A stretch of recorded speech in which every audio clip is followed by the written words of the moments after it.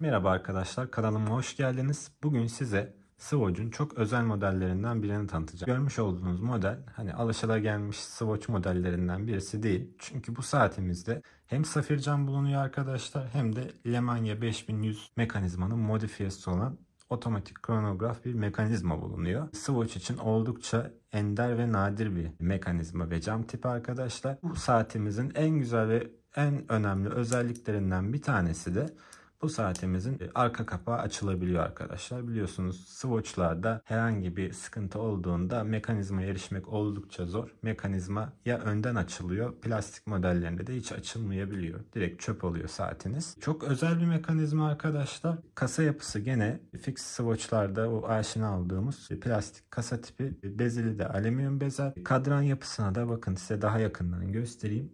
O kadar şık bir kadran yapısı var ki arkadaşlar. Bu kadrandaki doku bunun devamı kordonunda da devam ediyor arkadaşlar. O üzerindeki desen aynı şekilde birbirini tamamlıyor. Ve size butonların da hissiyatını göstereyim. Buradaki Lemanya'nın modifiyesi olan mekanizmanın da hissiyatını göstereyim butonların arkadaşlar. Oldukça tok bir hissiyatı var. Onu da size belirteyim. Bakın. Kasa çapı olarak da biraz büyük bir saat arkadaşlar. Yani 42 milimin üzerinde bir saat oldukça büyük bir kasa çapına sahip.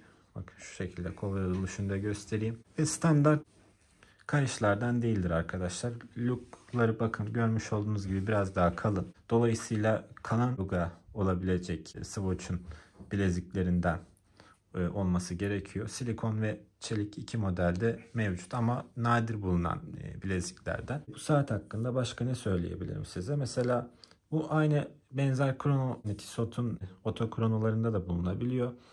Ancak hani Valjo 7750 değil.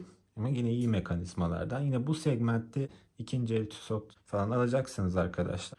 Valjo mu yoksa Lemanya mı olduğunu anlamak için de bakın burada görmüş olduğunuz aşağıdaki kısımda 6 saatlik mi yoksa 12 e, saatlik mi ölçüm yaptığına bakmanız yeterli.